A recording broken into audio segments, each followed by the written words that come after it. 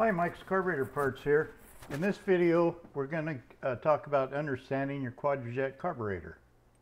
The Rochester Quadrajet carburetor, a mainstay in many classic cars, is a marvel of automotive engineering. Its intricate design and efficient operation have made it a favorite among car enthusiasts and mechanics alike. In this video, we'll delve into the mechanics of the Quadrajet, exploring its unique features like the spreadbore design and understanding why it was considered ahead of its time. First introduced by Rochester in the 1960s, the Quadrajet is a four-barrel carburetor that gained widespread use in American cars. It was particularly popular in uh, General Motors vehicles, but was also used by other manufacturers, Mercury Marine, for example. The Quadrajet is known for its versatility, able to support a wide range of engines, from small V6s to big block V8s. One of the most distinctive features of the Quadrajet is its spreadbore design. Unlike the typical square bore carburetors where the venturi and throttle bores are of similar sizes, the Quadrajet has smaller primary bores paired with larger secondary bores. This design is ingenious for several reasons. Improved fuel efficiency. The smaller primary bores allow for better fuel economy during low speed driving and idle conditions as they provide a more precise fuel air mixture with less air resistance. Enhanced performance. The larger secondary bores kick in during high demand situations like acceleration or climbing, providing additional air and fuel for increased power. This dual nature of the Quadrajet allows it to offer both efficiency at low speeds and power when needed, a balance that was quite advanced for its time. The Quadrajet uses a complex system of metering rods and jets to regulate the fuel flow.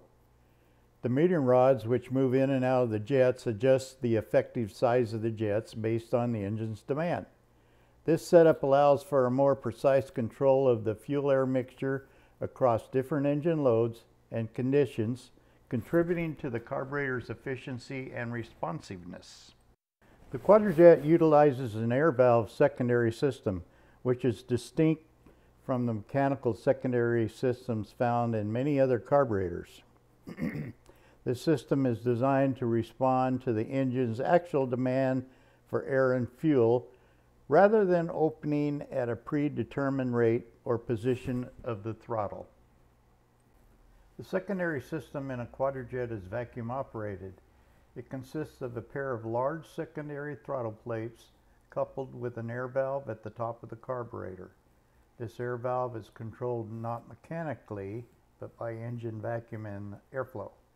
When the engine is at low speed or idle, the air valve remains closed, preventing the secondary throttle plates from opening. Transition. One of the significant advantages of this system is the smooth transition between the primary and secondary barrels. It prevents a sudden rush of fuel that can occur in mechanically operated secondaries, reducing the risk of blogging, excuse me, bogging or flooding the engine. Improved fuel economy. At lower speeds and loads, the engine runs primarily on the smaller, more efficient primary barrels.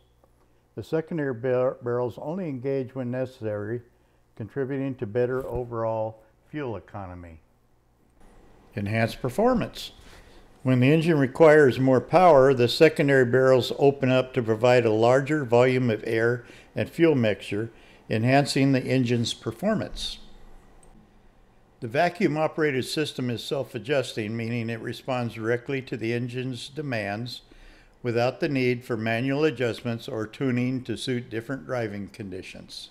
The Quadrajet was ahead of its time for several reasons. Number one, versatility.